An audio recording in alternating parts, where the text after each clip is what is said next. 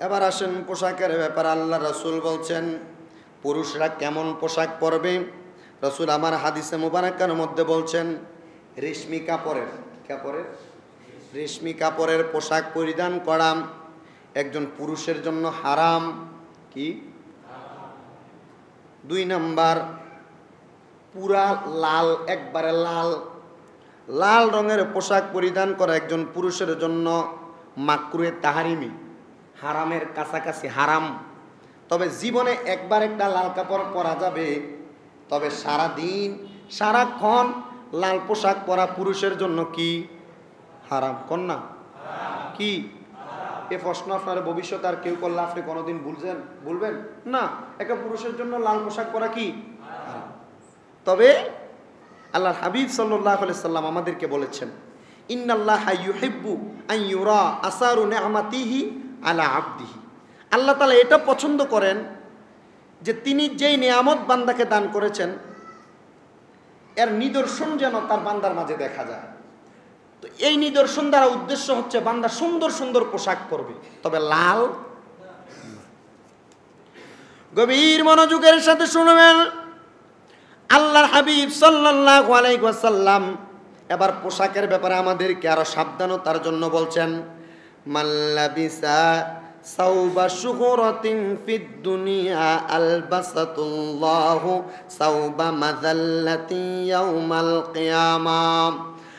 বলছেন, যেই ব্যক্তি দুনিয়াতে সুখ্যাতির জন্য কাপড় পরিধান করবে, আল্লাহ তাআলা কিয়ামতের দিন তাকে অপমানের কাপড় পরাবেন। এমন কাপড় পরাবেন, মানুষ এই কাপড়টা দেখলে তাকে বেয়াজুতি বেয়াজুতিমূলক কথা বলবে। ও বন্ধু, অহংকার করে করে যদি কোনো পোশাক আপনার শরীরে আপনি লাগান তাহলে আপনি কবরে গেলে আপনাকে আমার আল্লাহ পাক বেয়াজুতির কাপড় পরাবেন। পরবর্তী হাদিসের মধ্যে রসুল বলেন, কুলু তাসাদ্দাকু ওয়ালবাস অলবাসু মা লাম ইউখালিতুহু ইসরাফু ওয়ালা মাখিলা। আল্লাহর হাবিব বলেন, তোমরা খাও, তোমরা পান করো, দান সৎকা করো এবং পরিধান করো। যেই পর্যন্ত না অপব্যয় হয় অহংকারে পতিত হয়। রসুল এই কথাটার মধ্যে, হাদিসের মধ্যে এটাই বুঝিয়ে দিচ্ছেন, তোমরা পোশাক পরিধান করো, তবে এমনভাবে করো যেন অপচয় না হয়। দেখেন বাবা, আপনি পোশাক পরিধান করেন, আপনি দুই দিন, তিন দিন চার দিন বললেন, পরার পর আপনার পোশাকটা ভালো লাগে না, রেখে দিলেন। কিন্তু যখন দুই তিন চার বছর চলে যাওয়ার পর আপনি পোশাকটা পুড়ে ফেলেন, ডাস্টবিনে ফেলে দিচ্ছেন। তবে না, অপব্যয় করা যাবে না, এই পোশাকটা আপনি ডাস্টবিনে না ফেলে কোনো জায়গায় না ফেলে যদি আপনার মতো কোনো মিসকিন থাকে অথবা একজন গরিব থাকে, আপনার শরীরের সাইজ অনুযায়ী কাপড়টা সে পরতে পারবে। তাকে দেখলে আপনি কাপড়টা তাকে দিয়া দেন। দিয়া দেওয়ার কারণে সে যদি পড়তে পারে, যতদিন পড়বে যত নেকি আমার আল্লাহ পাক রাব্বুল আলমিন তার আমল নামায় দিবে, সেটা আপনার আমল নামায়ও দিয়া দিবে। আসতে করেন সুবাহান আল্লাহ রসুল আমার হাদিসের মধ্যে আবার বলছেন আন্না রসুল আল্লাহ সাল্লাল্লাহু আলাইহি ওয়াসাল্লাম ক্বালা, হুররিমা লিবাসুল হারিরি ওয়াজ-যাহাবি আলা জুকুরি উম্মতি ওয়া উহিল্লা লি আনাসিহিম। রসুল বলছেন, রেশমের পোশাক এবং স্বর্ণের জিনিস, স্বর্ণ ব্যবহার করা নবীর উম্মতের পুরুষদের জন্য হারাম। তবে এইগুলো মহিলাদের জন্য হালাল। তবে মহিলারা স্বর্ণের স্বর্ণের গহনাগুলো পরার পরে এবং রেশমের কাপড় পরার পরে ব্যাপারটাভাবে রাস্তায় ঘুরতে পারবে না। শুধু পৈরা সৌন্দর্য দেখানোর জন্য নিজের স্বামীরই দেখাইতে পারবে আর কাউকে নয়, এটাই হলো পর্দা পোশাক দ্বারা। আমার রসুল সাল্লাম পরবর্তী হাদিসের মধ্যে বলেন আলাইহি সাল্লাল্লাহু আলাইহি একদিন আমার নবীজি রাহমাতাল লিল আলামিনের সামনে এক ব্যক্তি লাল রঙের দুইটা কাপড় পরে নবীজির সামনে আসলেন, অতবার আমার নবীকে কি করলেন? ফাসাল্লামা আলান নবী নবীকে সালাম প্রদান করলেন। তবে আমার নবী কি করলেন? ফালাম ইয়ারুদ্দা আলাইহিন নবী আমার নবী তার সালামের জবাব কি পোশাক পরে আসছিলেন ব্যক্তি? লাল পোশাক পরে আসছেন।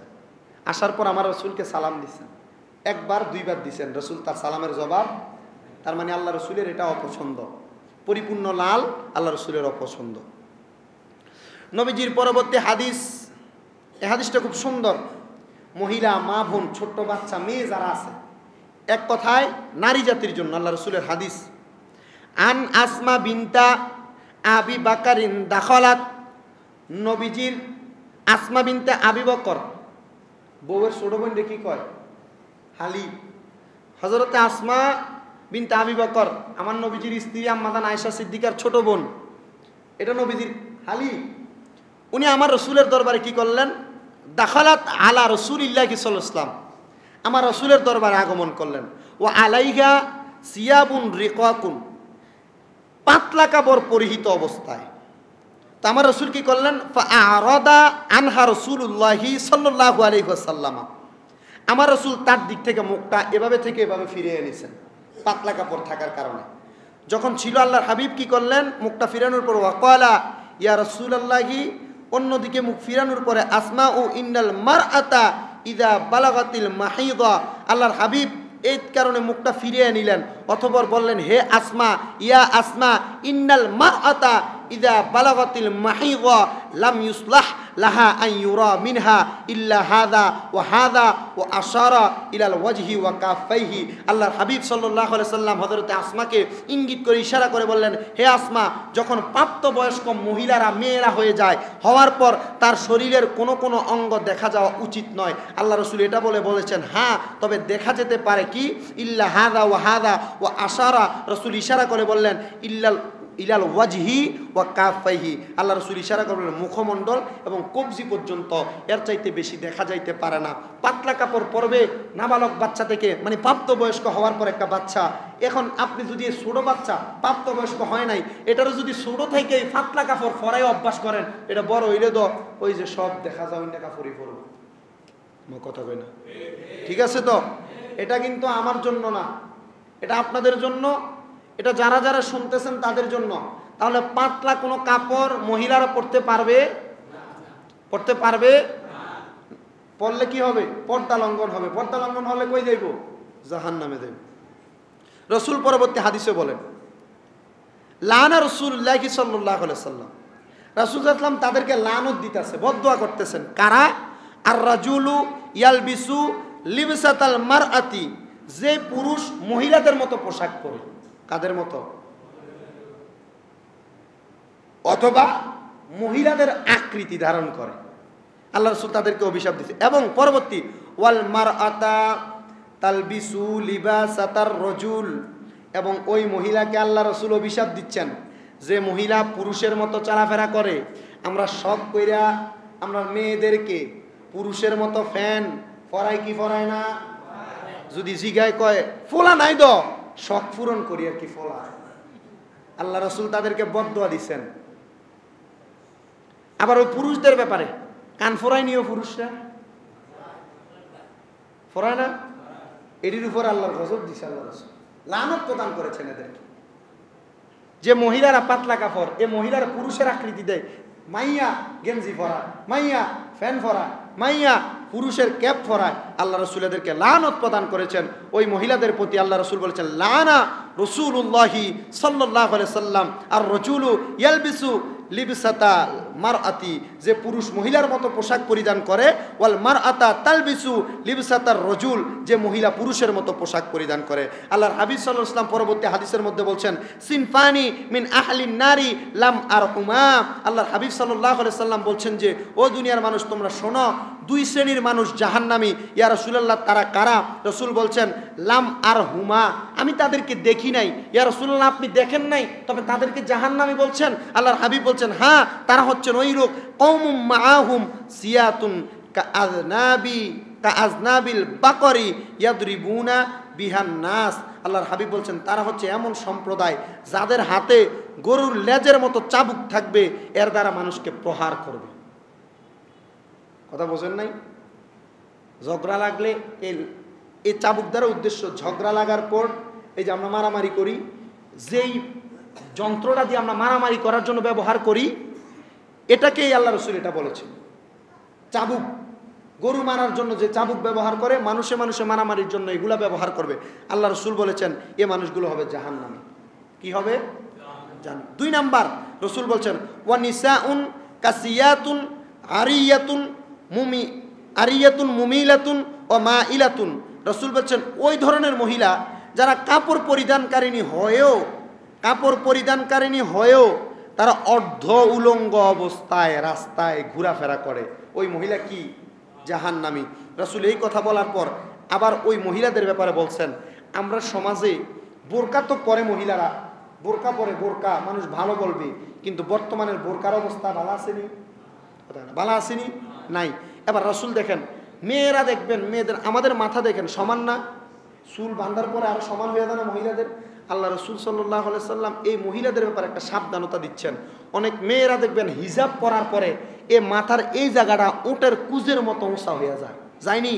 আল্লাহ রসুল হাদিস শরীফের মধ্যে বলছেন, দেখেন, আমাদেরকে কত সাবধান করছেন। ওর উস হুন্না আসনিমাতিল বুখতি বুখতিল মা ইলাতিন লা ইয়াদখুলনাল জান্নাত। আল্লাহর হাবিব সাল্লাম বলছেন নিজেরাও অপরের প্রতি আকর্ষিতা, তাদের মাথাগুলো খোরাসানি ওটের কুটজুটি কারণে উথিত হবে। ওটের কুজের মতো, সুডির মতো উঁচা হবে, আর তারা কি হবে? তারা জান্নাতে প্রবেশ করতে পারবে না। যে মেয়েরা, যে মা বোনেরা শুনতেছেন হিজাব পরার পর আপনাদের মাথার চুলের মুঠিটা উপরের দিকে ওটার কুজের মতো হয়ে থাকে, তাহলে বোঝা গেল এভাবে ওটার মতো কুজু করে রাখলে আপনি কখনো জান্নাতে যেতে পারবেন না। রসুল ইসলাম শোনেন, আজকের আলোচনার বিষয়টা মজা লাগাই না আলোচনার বিষয় না। তবে খুব দরকারি আলোচনার বিষয়। এটা একটু মাথায় রাখেন এগুলো শুই না যাওয়ার পর আপনি ভুইলা যাবেন পরিবারকে ঠিক করবেন না তা আপনি নিজে জাহান নামে জ্বলবেন আমি ওয়াশ করে গলা ফাড়াইতে পারবো আপনাদেরকে বলতে পারবো কোনো লাভ হবে না এজন্য আপনি আপনার নিজের সমাজ নিজের পরিবারের মধ্যে বাস্তবায়ন করেন দেখবেন একজন একজন করে করে পুরো সমাজ পরিবর্তন হয়ে যাবে আল্লাহর হাবিব সাল ইসলাম পরবর্তী হাদিসের মধ্যে বলছেন আন্নান নবী সাল্লাল্লাহু আলাইহি সাল্লাম قال البسوا البياض فانها اطهار واطيب وكفنوا ফিহা মাউতাকুম। আল্লাহ রসুল সাল্লাহ সাল্লাম এবার আমাদেরকে বলছেন তোমরা সাদা কাপড় পরিধান করো, কেননা তা হলো পবিত্র এবং এটাই হলো অধিক উত্তম। আর তোমাদের মৃত্যুদেরকে সাদা কাপড় দিয়ে তোমরা কাপড় পরিধান করাও। তাহলে বোঝা যায়, আমার নবী বলেছেন, আমরা সাদা কাপড় পরিধান করার জন্য এবং আমাদের যারা মৃত রয়েছেন, মৃত ইন্তেকাল করেন, ইন্তেকালের পরে তাদেরকে সাদা কাপড় দ্বারা কাফন দেওয়ার জন্য রসুল আমার হাদিসের মধ্যে বলেন। পরবর্তী হাদিসের মধ্যে নবী আমার বলেন, আন আয়সা তা কয়ালাত قالت سبغت للنبي صلى الله عليه وسلم بردة سوداء فلبيسها فلما عرق فيها وجد রিহাসুফি ফাকাজাফাহা। রসুল আমার বলছেন, ও দুনিয়ার মানুষ, শোনে না আমি রাসুল একদিন একটা কালো রঙের চাদর তৈরি করে আমি পরিধান করলাম।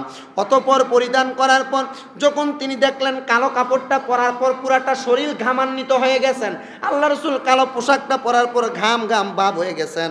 আল্লাহ রসুল পশমের মধ্যে গ্রান পেলেন, ঘামের গন্ধ পাওয়া যাচ্ছে। আমার রসুল ওই সময় কি করলেন? অজাদারি হাসুফিল ফাকাজাফাহা। আল্লাহ রসুল তার কা থেকে শরীর শরীর থেকে কালো কাপড়টা খুলে ফেলেছেন। কারণ ওই কাপড়টা পরার কারণে ওনার শরীরের মধ্যে ঘাম বেশি হয়েছেন। তবে রসুল বলছেন, যদি ঘাম না বাহির হয়, ওই কালো কাপড় তুমি পরতে পারবে।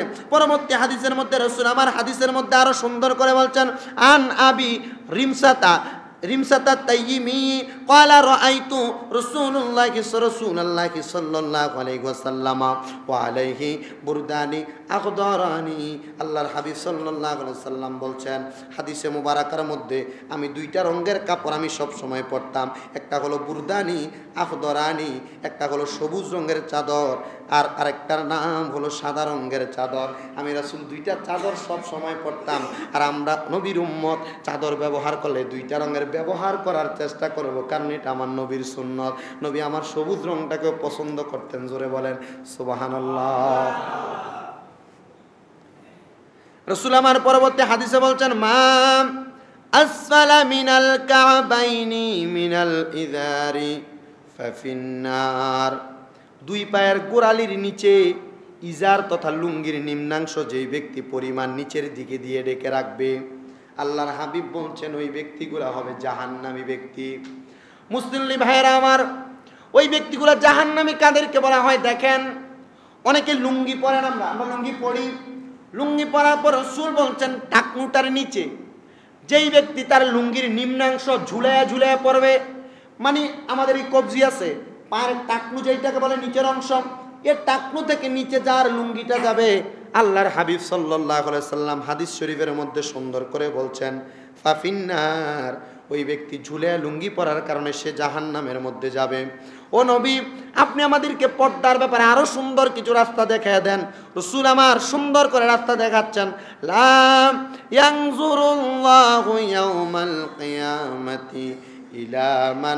জাররা যেই ব্যক্তি তার পরিধানের বস্তুকে অহংকার করে ঝুলিয়ে ঝুলিয়ে টেনে টেনে চলবে। দেখবেন অনেক মানুষ লুঙ্গি পরার পর, লুঙ্গিটাকে ডান হাতের মধ্যে নিয়ে হাঁটে কি হাঁটে না? এমন অবস্থা অনেকের আছে না? লুঙ্গি হাতে নিয়ে হাঁটে, অনেকে বাম হাতে লুঙ্গি পরে ডাইন হাতে সিগারেট টিনতে টানতে রাস্তা দিয়ে হাঁটে। রসুল কিন্তু তাদের কথাই বলছেন, ও দুনিয়ার মানুষ লাংজুরুল্লাহ ইয়াউমাল কেয়ামাতে আল্লাহ তাদের দিকে ফিরেও তাকাবেন না। আল্লাহ তাদের দিকে ফিরেও তাকাবেন না। তারা কারা? ইলা মানজা ইলা মানজাররা ইদা রহ, ইজা রহু বাতারন। যে ব্যক্তি তার লুঙ্গিকে অহংকার করে করে টেনে টেনে হাতে ধরে ধরে রাস্তায় হাঁটবে, তাদের কথা বলছেন, ও নবী, আরও আমাদেরকে উপদেশ দেন। আমার নবী বলছেন, ইলা ইন্না ইমরাতান সাল্লাম আর মিনান বলছেন আনহার আমার বললেন, এক মহিলা পুরুষের জুতা পরিধান করে, ইয়া রাসূলুল্লাহ, ইয়া হাবিবাল্লাহ, আপনি এটার হুকুম আমাদেরকে জানিয়ে দেন। আমার রাসূল বলছেন, তিনি উত্তরে সুন্দর করে বলছেন, লানা রাসূলুল্লাহি সাল্লাল্লাহু আলাইহি ওয়াসাল্লামা আর রাজুলাতা আর রজুলাতা মিনান নিসাই, যে মহিলা পুরুষের বেশভূষা গ্রহণ করে, তাকে আমি রসুল লানত প্রদান করলাম। তাহলে বোঝা যায় মহিলা মানুষ পুরুষের জুতোও পড়তে পারবে না, কোনো কিছু গ্রহণ করতে পারবে না। ইয়া রসুল আল্লাহ ইয়া হাবিব আল্লাহ আরও উপদেশ প্রদান করেন। রসুল আমার উপদেশ দিচ্ছেন রজুল ইন্নার রজুলা ইউ হেব্বু আইয়াকুনা সাউবহু হাসানাতাও ওয়া নাআলুহু হাসানাতান। ক্বালা ইন্নাল্লাহা জামিলুন ইউহিব্বু ইউহিব্বুল জামাল। আমার রাসূল হাদিসে মুবারাকার মধ্যে বলে দিচ্ছেন, নবীকে একজন জিজ্ঞাসা করল, ইয়া রাসূলুল্লাহ, ইয়া হাবিবাল্লাহ, পোশাক এবং জুতার সুন্দর হওয়া পছন্দ করি। ইয়া রাসূলুল্লাহ, আপনার কাছে আমি জানতে চাই, এটা কি কোনো অহংকার নাকি? না না না, আমার রাসূল বলতেছেন, এটা কোনো অহংকার নয়। কেন? ইন্নাল্লাহা জামিলুন ইউহিব্বুল জামাল। আল্লাহ সুন্দর, তিনি সুন্দরকে পছন্দ করেন। তবে এই পোশাকটা পরবেন সুন্দরের জন্য, অহংকারের জন্য নয়, কাউকে দেখানোর জন্য নয়। সামান্য পরিমাণ অহংকারও যদি ওই পোশাকটা পরার পর আপনার আসে, নামাজ পড়তে পারবেন, আপনার নামাজ ওই পোশাক পইরে কবুল হবে না। আর আপনাকে জাহান নামে ঘোষণা করা হয়েছে। এই জন্য মুসলমান, আল্লাহ হাবিব তো আমাদেরকে সাবধানতা অবলম্বন করাচ্ছেন। আল কিবরু বাতারু, আল কিবরুল বাতারুল হাক্কি ওয়াগম তুন্নাস দুনিয়ার জমিনের মধ্যে অহমিকা প্রদর্শন করা, মানুষকে অবজ্ঞা করা। নতুন পাঞ্জাবি, নতুন পোশাক সুন্দর সুন্দর জামা কাপড় পরে পরে, রাস্তায় হাঁটবেন, কিন্তু ময়লা জামা কাপড় পরে আছে, কোনো গরিব মানুষ দামি পোশাক পরার ক্ষমতা নাই। তাকে অবজ্ঞা করবেন, তার প্রতি মায়ার নজর করবেন না, তাকে ঘৃণার দৃষ্টিতে তাকাবেন। আল্লাহ রসুল বলেছেন, ওই ব্যক্তিগুলা জাহান নামে হবে। ওই ব্যক্তিগুলা জান্নাতের পোশাক পরবে না। ইয়া রসুল আল্লাহ ইয়া হাবিব আল্লাহ জান্নাতের পোশাক কারা কারা পরবে? আল্লাহর হাবিব বলেছেন, আমি নবীর সুন্না মোতাবেক যারা পোশাক পরিচ্ছন্ন পরবে, আমি নবীর সুন্না মোতাবেক যারা দুনিয়ার জমিনে পুরুষ হোক, মহিলা হোক, পর্দা করবে, তারাই জান্নাতের ওই পোশাক পরবে। ইয়া রাসূল আল্লাহ জান্নাতের ওই পোশাকটা পরার কারণে তার উপহার কি দেওয়া হবে? আমার রাসূল বলছেন, উপহারটা হলো ওই জান্নাতি পোশাক পরাইয়া আমি আল্লাহর দিদারে এলাহি ওই বান্দাকে দিব মানে আমি আল্লাহ ওই ব্যক্তির সামনে আইসা তাকে দিদার দিয়া দিব। আল্লাহকে কোনো বান্দা এখনও পর্যন্ত দেখি নাই, দেখেও নাই। আমার রসুল মেয়েরাজ ছাড়ার কেউ আমার আল্লাহকে দেখে নাই। ও বন্ধু আমার, আল্লাহকে আপনিও দেখতে পাবেন। যদিও আপনিও আল্লাহর আদেশ, নবীর আদেশ মোতাবেক পর্দা করে চলেন, তাহলে বোঝা যায় পুরুষের জীবনে ধর্মান্তরিত হোক আর না হোক, মুসলমান হওয়ার কারণে পর্দা আছে না নাই? কথা বলে না আছে না নাই? এই জন্য মহিলা যারা আছেন, তাদেরও পর্দা আছে না নাই? তাহলে সবাই পর্দা গ্রহণ করা লাগবে। হজরত তোমর রাদি আল্লাহ তালানহুর জিন্দিগি থেকে একটা কথাই ছোট্ট করে শোনেন। হজরত তোমর রাদি আল্লাহ তালানহু বাইতুল মালের দায়িত্ব জিনার কাছে ছিলেন। ঈদের দিন আসার কারণে বাইতুল মালে অনেকগুলা কাপড় থাকার পরে হজরত ওমর আদি আল্লাহ তালানকুর টুকরা করে করে মানুষকে সমান ভাগ করে কাপড় দিছে। এমনভাবে কাপড় দিছে, এই কাপড়টা দিয়ে পাঞ্জাবির এক অংশ যদি হয়, পয়ঠার অংশ হবে না, পিঠের অংশ হলে সামনের অংশ হবে না। সবাইকে দিয়ে দিলেন, সবাই যার যার মতো কাজে লাগাইছেন। কিন্তু হজরত ওমর রাজি আল্লাহ তালানহুর পরিবারের মধ্যে দুইজন সদস্য, একজন হজরত ওমর আর একজন ওনার সন্তান। হজরত ওমর রাজি আল্লাহ তালানহুর সন্তান, ওনার অংশটা ওনার বাবাকে দিয়ে দিলেন, বাবা, আপনি এটা ব্যবহার করেন। আর ঈদের দিন হজরত ওমরে ফারুক রাজি আল্লাহ তালানহু ওই জামাটা পইরা যখন ঈদগাহের ময়দানে গেছে, এ মসজিদের মধ্যে সবাই কিন্তু আমার বালা কইবার লাগাইছেন না। আবার এই ওয়াজ শোনার পর আপনার পছন্দের ওয়াজ না হইলে আপনি কিন্তু এটার বিরোধিতাও করবেন। হজরত উমর রাদিয়াল্লাহ তালানকু যখন ঈদের নামাজের মধ্যে আগমন করলেন, আগমন করার পর দাঁড়ায় দাঁড়ায় খতবা দিচ্ছেন। আর কিছু নাসারা এবং ইহুদি ওই ঈদগাহের ময়দানের পিছনের অংশ বৈশা বৈশা কয় দেখছ নি হজরত তোমার আমাদেরকে কম কম করে করে কাপড় দিছে আর নিজে একটা পাঞ্জাবি বানাইছে, তার কাছে বেশি কাপড় আছে বিদায়। আমরা তো একটা পাঞ্জাবির কাপড় দেয় নাই। আর যেই লোকগুলা সমালোচনা করতেছিল, তাদের পিছনে ছিল হজরত উমরে ফারুকের সন্তান। দাঁড়ায় গেলেন আব্বা খুদ্া দেওয়া বন্ধ করেন। আমাদের এই মজলিসের মধ্যে কিছু মুনাফিক আপনার সমালোচনা করছেন। হে উপস্থিত মুসল্লিনা কারা আপনাদের কাছে আমি একটা কথা জানান করতে চাই। আপনারা দেখেন বাইতুল মাল থেকে ঈদ উপলক্ষে আমার বাবা আপনাদেরকে একটু একটু করে কাপড় দিয়েছিল। কিন্তু এই কাপড় দ্বারা একটা জামা তৈরি হওয়ার মতো ব্যবস্থা ছিল না। কিন্তু আপনারা দেখছেন সেম কাপড়, একই রকমের কাপড় দিয়ে আমার বাবা একটা জামা পরে ঈদের নামাজের মধ্যে আগমন করেছে। ও সমাজবাসী, ও ঈদগাহ ময়দানের মুসল্লিনে কেরাম, আমার বাবা বেইনসাফ করে নাই। আপনাদেরকে যতটুক কাপড় দিয়েছে, আমাকেও ততটুক দিয়েছে, তিনিও ততটুক ব্যবহার করেছেন। তবে আমি সন্তান হয়ে আমার ভাগের কাপড়টা আমি আমার বাবাকে দিয়ে দিয়েছি। আমার বাবা আমার কাপড় এবং ওনার কাপড়টা এক করে একটা পাঞ্জাবি বানাইয়া বেইনসাফ করে নাই, আমার কাপড় এবং আমার বাবার কাপড় একসাথে করে পাঞ্জাবি বানাইয়া পড়ছে আপনাদের হক আমার বাবা মারে নাই, আমার বাবা নিজেই একজন হকদার। হকের ব্যাপারে আমার বাবা হচ্ছেন সবচাইতে সর্বপরাক্রমশালী, আমার আল্লাহর পরে। এই জন্য কেউ আমার বাবার অপবাদ দিবেন না। মুসলমান, আপনি চিন্তা করেন, আপনার কাপড় থাকার সত্ত্বেও আপনি পর্দার বাহিরে চলছেন।